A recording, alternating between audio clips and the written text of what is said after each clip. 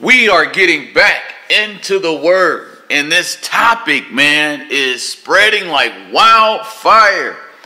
Jesus did not die for your sins. Yes, I'm excited. I am because I actually been fighting all these witches, okay? Christianity is witchcraft, okay? Now, don't run. Don't run. I'm going to show you scripture backing up what I just said, okay? And I've been fighting all day. And I'm going to show you what I mean by Christianity is witchcraft. Now, if I was to go to my Bible app and you go to your Bible app, if you type in witchcraft, it's only in the Bible seven times. The first time witchcraft is mentioned is with your boy Saul, King Saul, the witch killer, okay, who converted to the witches. All right.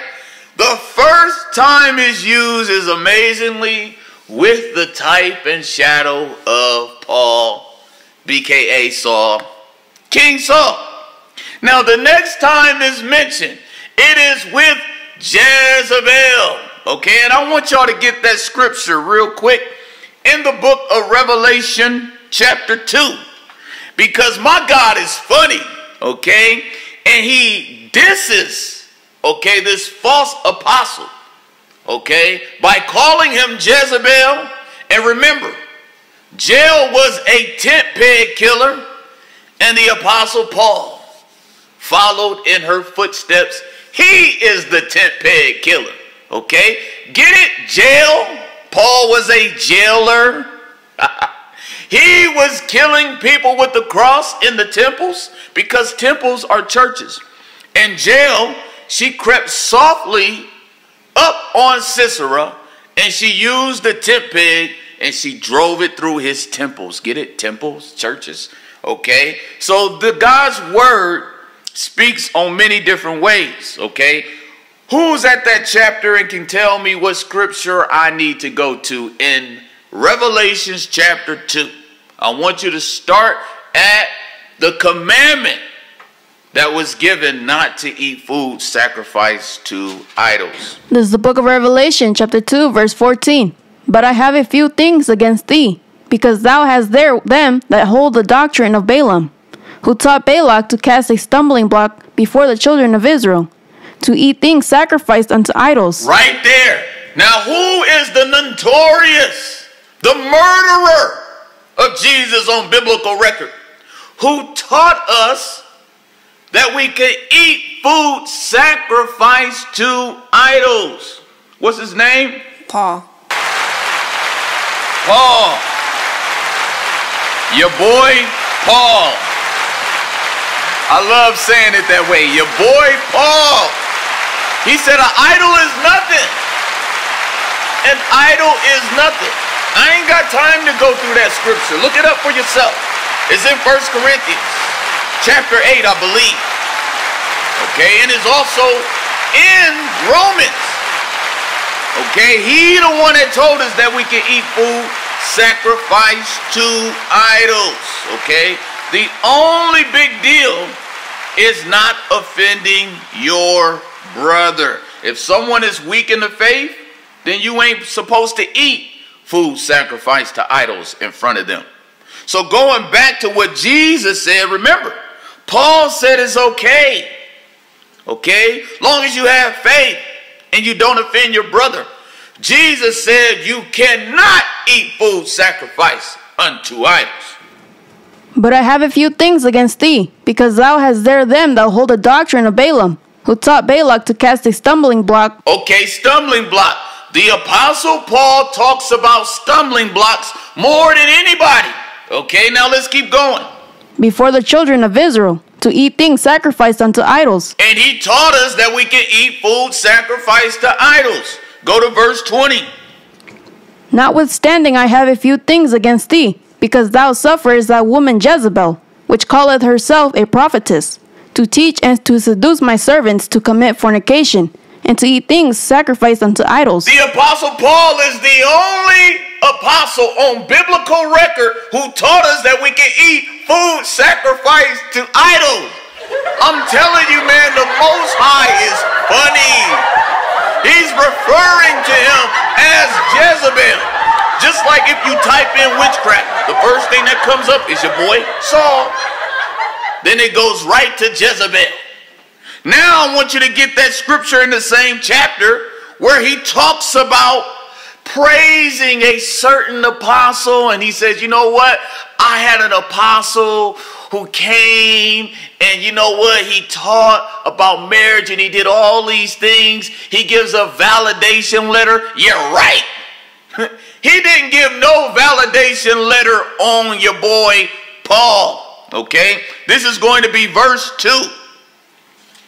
He said nothing about this guy. This is what Jesus said. Let's get that. Verse 2 I know thy works, and thy labor, and thy patience, and how thou canst not bear them which are evil.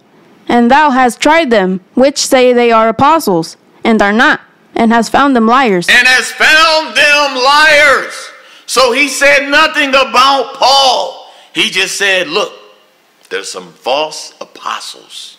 Now go to verse 1 so we'll know more in detail. This is going into Paul. Let's get that. Unto the angel of the church of Ephesus right? That's all I need. He was speaking to his church in Ephesus. Paul was in Ephesus. Paul was the self proclaimed apostle. I challenge you to show me a scripture where anybody else calls Paul an apostle but himself. He is a self proclaimed apostle. Now, I want to keep going. I want to keep going into where I was at because I was just setting the stage, okay? The Apostle Paul is the founder of the Christian church, and he is the type and shadow, okay, of, I would like to say, King Saul, even though King Saul is a type and shadow of him. So going back to where I was at, when you type in witchcraft in your Bible app, the first person is going to bring up is your boy Saul. Then it's going to go to Jezebel, all right, which is another name that Jesus confronted Paul with. Not only that, if you type in witchcraft, Manasseh is going to pop up, and he is a wicked king. Now, the other times witchcraft pop up, God is speaking to the children of Israel. Okay? And then guess who is the last person witchcraft pops up on? Your boy, apostle, self proclaimed apostate, impostor, Paul. Okay? BKA King Saul. So that tells you, I'm telling you, Christianity is witchcraft. And I'm going to keep going. I'm going to keep going on that. I want somebody to get 1 Samuel chapter 28, verse 3. Because we're going to talk about Saul and witches. Let's get that. This is the book of 1 Samuel, chapter 28, verse 3. Now Samuel was dead, and all Israel had lamented him, and buried him in Ramah, even his own city. And Saul had put away those that had familiar spirits, and the wizards, out of the land. So Saul was against witches at one time. Let's remember that.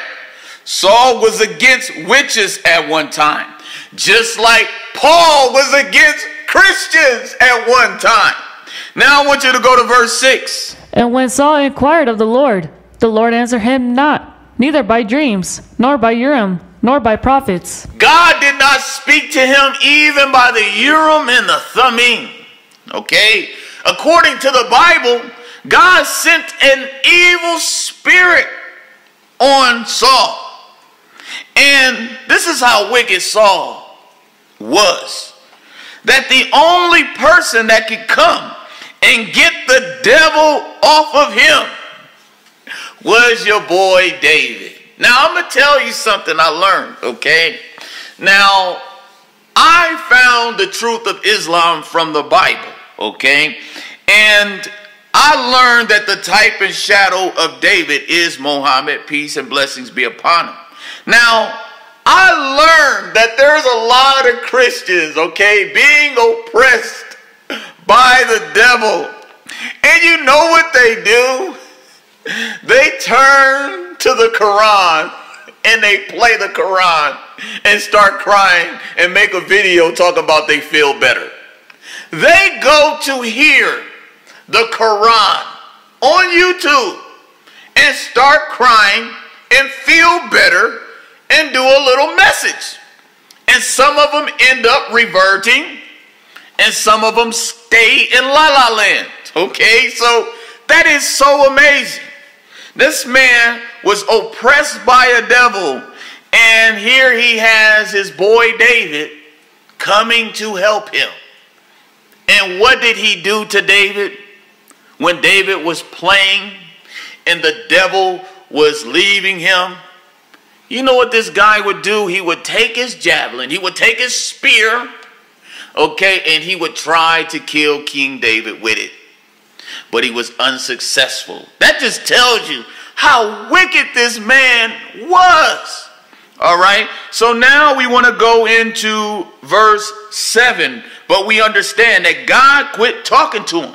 Okay, matter of fact, he sent an evil spirit upon him. Let's go to verse 7. Then said Saul unto his servants, Seek me a woman that hath a familiar spirit, that I may go to her and inquire of her. And his servant said to him, Behold, there is a woman that hath a familiar spirit at Endor. All right, so now he trying to hook up with the witches. Just like your boy Paul. After he was locking up the Christians, killing the Christians, and we're going to get that in the scripture. So you'll know these are not my words. A lot of people on YouTube are famous with quoting their own words. Okay? They love speaking their own words more than the scriptures. So I'm going to show you in scripture that Saul was consenting Christians to their death. Okay? So now he needs help from the witches, just like Paul needed help from the Christians. Now I want you to go to verse 10. And Saul swore to her by the Lord, saying, As the Lord liveth, there shall no punishment happen to thee for this thing. Now, a lot of you people, your, your brain is a little slow and you're not picking up on what just happened right here. This man literally just said, You know what? I'm not going to kill you. You a witch, I'm not going to kill you. That is totally against God's word. God's word says you are not supposed to suffer a witch to live. Let's get that.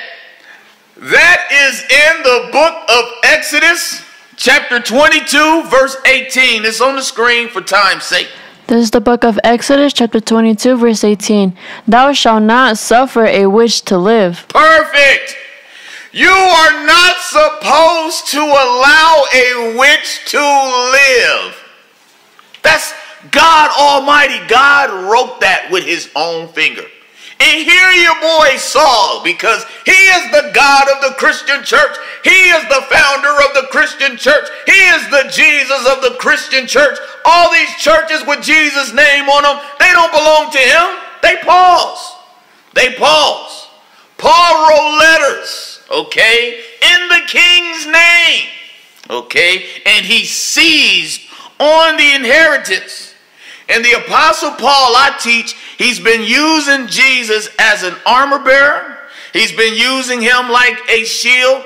He's been using him like a bulletproof vest. He's hiding behind Jesus, talking about Jesus is Lord, Jesus is Lord, but really he is the Lord of the Christian church. Okay? Because God spoke through Jesus. And Jesus said, My Father's house. This is my Father's house. Thine will be done. Thine kingdom come. Thine will be done. So Jesus exalted God as king.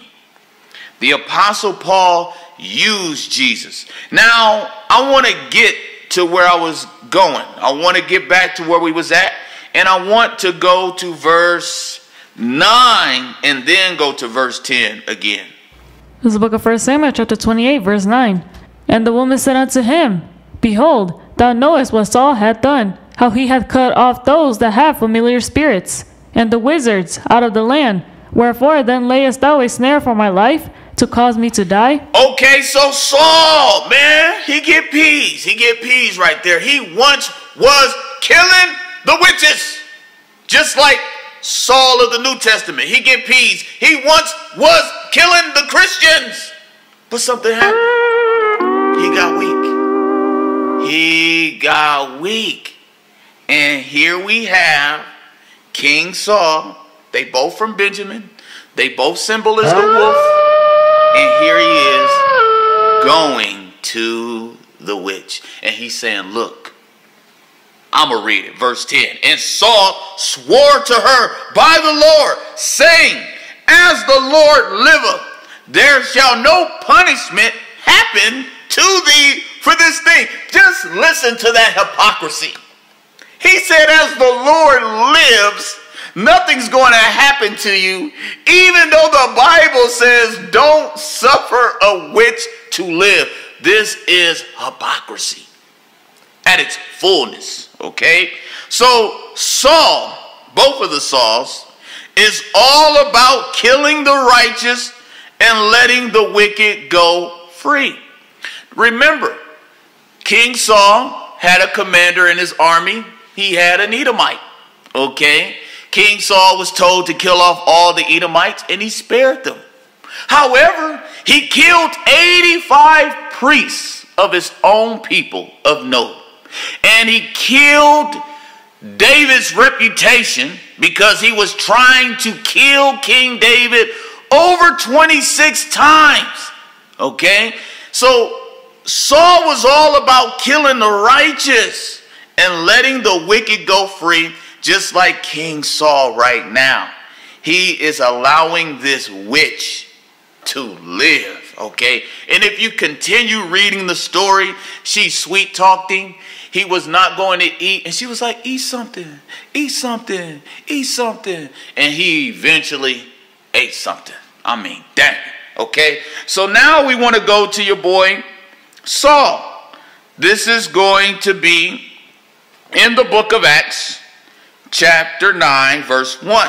I want someone to get that because I'm going to go over something else. And when it's time, I want you to pull that. Since we're talking about justifying the wicked and letting the righteous go free, I want to read Exodus 23 7. Keep thee far from a false matter, and the innocent and righteous slay thou not for I will not justify the wicked. Okay? The Apostle Paul was a murderer, he murdered Jesus. That's why we have the type and shadow of Jesus, which was Stephen. He was having a visitation from the Lord, and Saul was consenting to his death. Okay?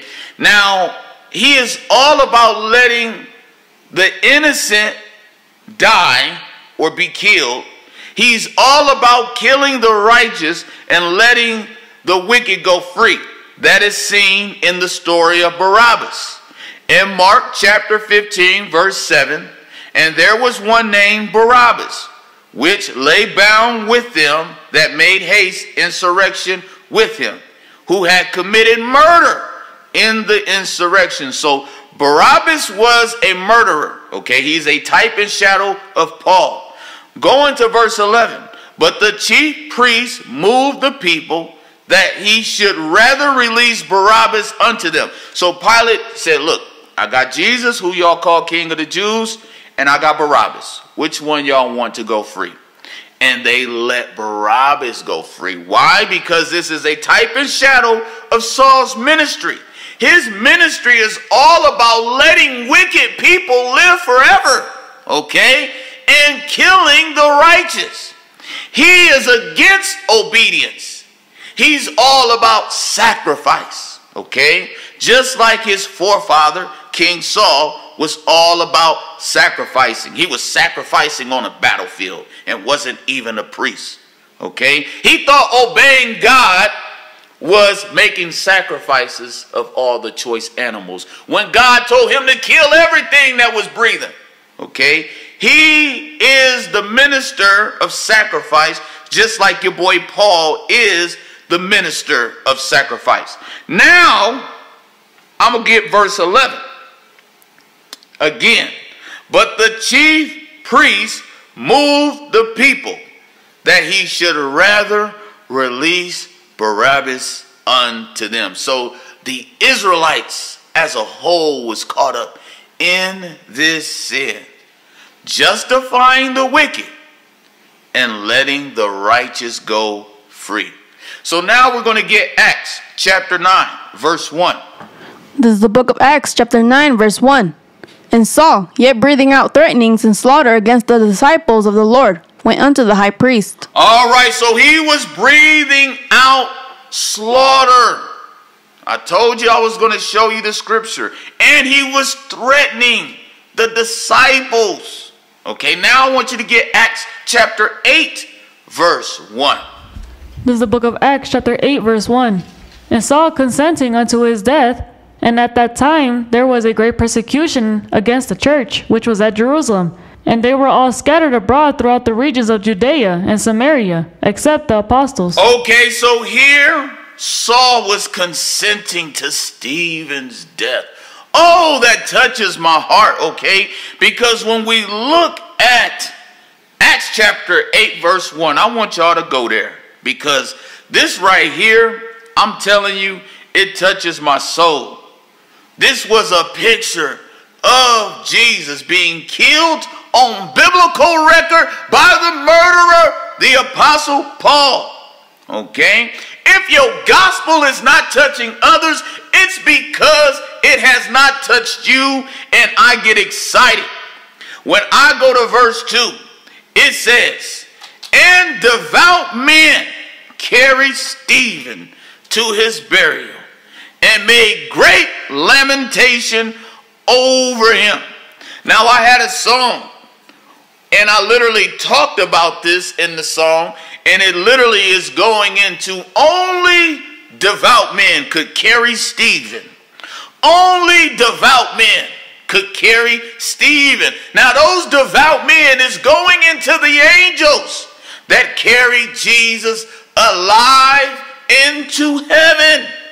Because Stephen was just murdered physically, but he is a type and shadow of Jesus Christ, peace be upon him, who was murdered on biblical record. And the Bible says devout men carried Stephen, righteous men.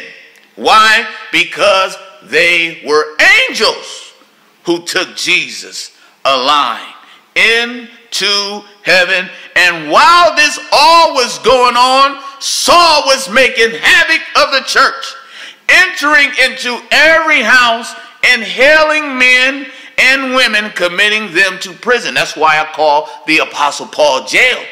He was the jailer. So now we heard about what he was doing to the church. Now let's hear about him getting weak, just like your boy Saul got weak. This is going to be Galatians chapter 1, verse 23. This is the book of Galatians, chapter 1, verse 23. But they had heard only that he which persecuted us in times past now preacheth the faith which once he destroyed. And they glorified God in me. Okay, so the people was like, dang, this is the dude that was killing the church, that was locking up the church. And now this guy is preaching the gospel? Okay, now I'm going to show you a scripture where the apostles, okay, the disciples, they were afraid of Paul, okay? This is going to be in the book of Acts, chapter 9, verse 26. This is the book of Acts, chapter 9, verse 26. And when Saul was come to Jerusalem, he essayed to join himself to the disciples, but they were all afraid of him, and believed not that he was a disciple. They was right. They was like, this nigga now preaching? All of a sudden he was killing the church. Now he got the Holy Ghost? How that work? That just, man, I'm telling you. Jesus being crucified on the cross is stupid as hell. I tried my best to go back through these scriptures and read commentaries on people explaining how Jesus died for our sins. And it is so stupid. It is a power coming from witchcraft to make you believe that God killed his son for your bad ass. That don't even make no sense, okay? The Bible tells you that every man is going to be accountable for his own sins, that every man is going to die for his own sins. But with your boy Paul, he's teaching all men are justified by Jesus Christ's death. Now, amazing. If Jesus died for everybody's sins, why is there a hell? And how come he was only dead three days? This stuff is stupid as hell. I'm sorry. I know it's hurting your feelings if you're online, but you know what? Open rebuke is better than secret love. If you musty, somebody just got to tell you, you musty. I'm not going to sit up here and play with your feelings. That stuff is stupid as hell if you actually go back and try to reprocess it. Islam came on the scene with the truth. I know you hate them, okay? But they said, looky here. Jesus was not crucified and he was not killed. We only made it look like that. It only appeared to them that way. And then it says, and they certainly did not kill him. Okay? So somebody was in my comments and he was like, yeah, yeah, Jesus died for our sins. And I said, you know what? Okay, I'll believe that if you can tell me this. I said, tell me who carried Jesus' cross. And then he gets back on moments later and he's like, well, um, Simon the Cyrene carried his cross when Jesus couldn't carry it no more. I said, show me that in the Bible. Show me that in the Bible because I know it's not in the Bible. And he didn't say anything else about it no more. Okay? Because the Bible literally tells you in the book of John that Jesus carried his own cross. But all the other gospel accounts say a black man, Simon the Cyrene, carried Jesus' cross. And amazingly, out of all the black presence that is in the Bible, when you watch the movie, they didn't want to find an old dusty black man carrying Jesus' cross, man. This stuff is crazy, man. So the Gospel of John, Jesus carries the cross all by himself. But the other one say Simon carried it. They both can't be true. They both can't be true. So I asked them, show me that scripture where it says, and Jesus could not carry the cross no more. So Simon the Cyrene stepped in and started carrying the cross. That is a bunch of baloney. That's what you call baloney. So then I asked him another question. I was like, okay, okay, tell me this then. Tell me this. And you got me. When Jesus died on the cross, did the temple tear before he died or after he died? And he has not yet responded to that. He's talking about everything else, okay? He's giving me those John bullets. Oh, in the beginning was the Word, and the Word was made flesh, and the flesh was God, and all these precepts, and the word was God, and he's giving me all this John garbage, okay? And he's avoiding the real questions because in the Bible, there is one Bible account that say the temple was torn before he died, and there's another Bible account that says the temple was torn after he died. Which one is it? Because you know what? The story is shaky, but the Ishmaelites, they are firm. They like, you know what? They did not crucify him or kill him. They ain't shaky with it. It ain't three or four different stories. It's the same boldness. He was not killed nor crucified. Now, I still have a whole lot to go. I still have a whole lot to go, but I just want to talk to you for a minute. There is not one scripture in the entirety of the Old Testament that says Christ is going to die for your sins according to the scriptures, just like Paul says it. So let's get that scripture because Paul was very bold when he said that. And I know for a fact it's going to be First Corinthians chapter 15, verse 3 and 4. I will get that. That Christ died for our sins according to the scriptures. I'm looking for those scriptures. I'm looking for a scripture in the Old Testament where it says Christ is going to die for your sins.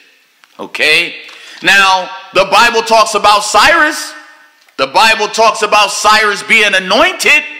Okay, that's the same word as Christ. God knows how to mention people's names. He mentioned Josiah's name 350 years before he was born.